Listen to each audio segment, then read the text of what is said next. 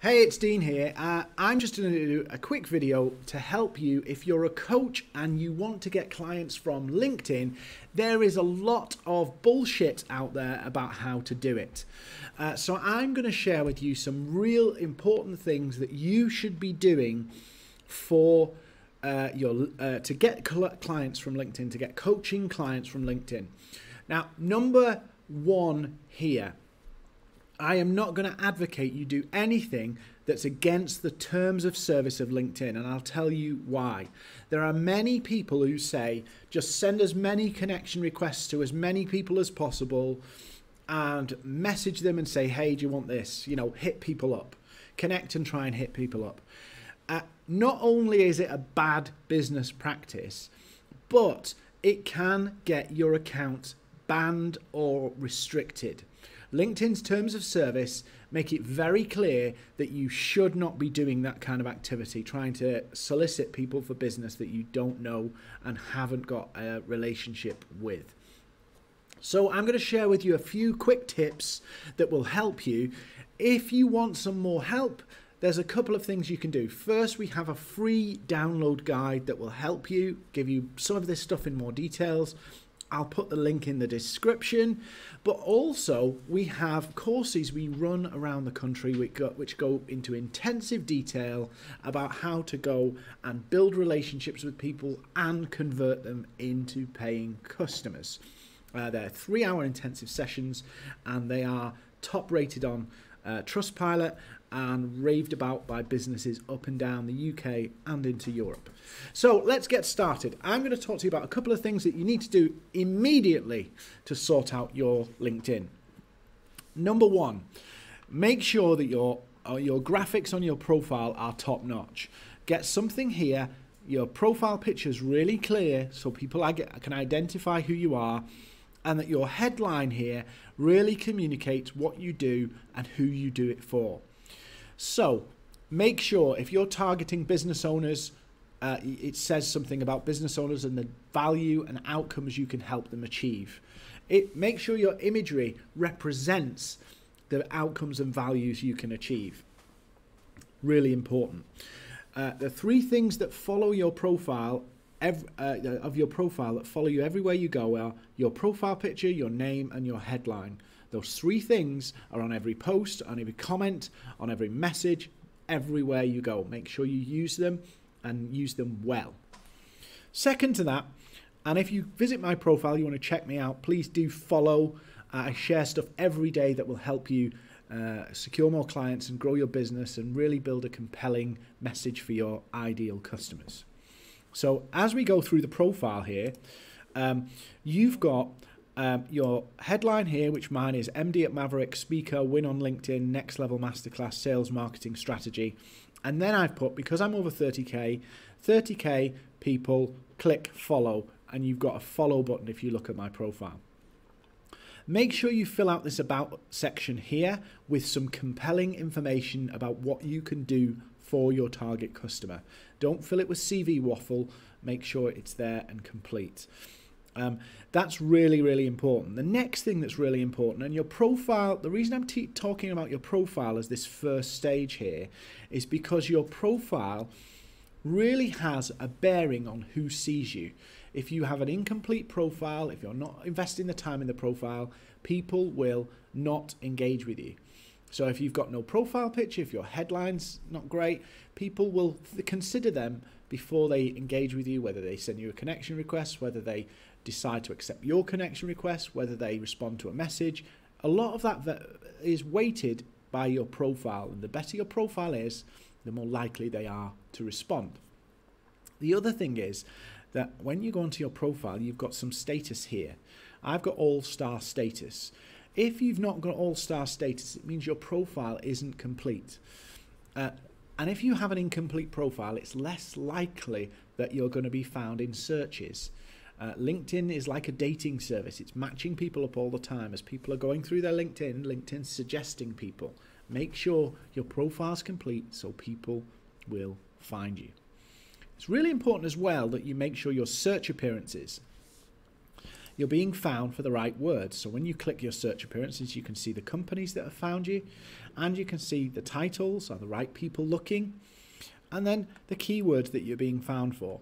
So make sure you look at the keywords that you're being found for and adapt your profile. Make sure your keywords on your profile are rich for the target clients you're trying to reach. So that's number one. Number two, when it comes to posting, you should be looking to share different types of content. I call this the content sandwich, and it's essentially you're mixing the content up for different different uh, different reasons. You need to create some content that engages people and interests people, and you need to create some content that really tells people about the value you can deliver with call to actions and buy this or sign up or what have you. But you have to hold the two of them in tension. If you do too many engagement posts, you become a really nice person, but nobody knows exactly what you do or nobody knows how to buy from you. And if you go the other way, sell, sell, sell, sell, sell, nobody will engage with you and nobody will see you. Your posts, when you post on LinkedIn, your post is not automatically seen by your first connections. So engagement posts are really important because they can help you get seen by your connections. And generally speaking, on all social media platforms, if you're engaging with people on a regular basis, the platform will encourage you to be uh, your post to be seen by those people more often. So if you're trying to communicate the value of your coaching services, you need to make sure you're producing engagement posts which are related to the themes of what your coaching can do, but maybe more broad so it draws a, a more interest from lots of people. Make sure that those posts also pose a question, invoke an emotional response. They demand an answer because if you don't demand an answer, why would somebody comment? Why would somebody comment if you didn't want their opinion? Why would somebody comment on the same stuff all the time? Mix it up and bring a bit of variety, but keep the themes tied to what you do. So if you help people be more productive, you can share lots of things about and different ways of how productivity works and how efficiency can work. You don't have to stick to one particular thing day in day out because you just bore people. So that's the other thing is make sure your content is diverse, engaging and promoting engage and promote. In one of my workshops I do on content, I talk about the three goals your content should be doing. These are awareness, engagement, and conversion. And you have to construct content for the three. Uh, where, if you want people to be signing up to your coaching courses and coaching programs, you need to be doing the three. In another course, I talk about the pain points. Um, just to touch on these, is using pain points in content can be very powerful about getting relevance to almost get people to think, wow, it's almost like this post was written for me. So, pain points, have a look at that. Pain points are really powerful in helping you uh, define and create content that really gets people to take action. So, posts, mix them up. Use a content sandwich, alternate from engagement and promotion, engagement and promotion, sales posts and engagement posts, mix them up. And then finally, make sure you're active.